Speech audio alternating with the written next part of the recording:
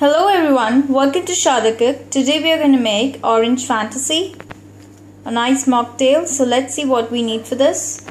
Orange juice, lemon juice, sugar syrup, apples, fresh spring of mint leaves, strawberry crush, some black salt and black pepper.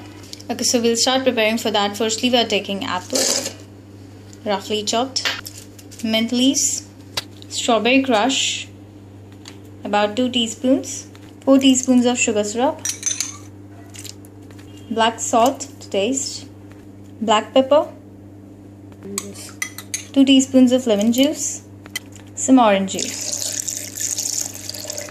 And now we are going to grind it.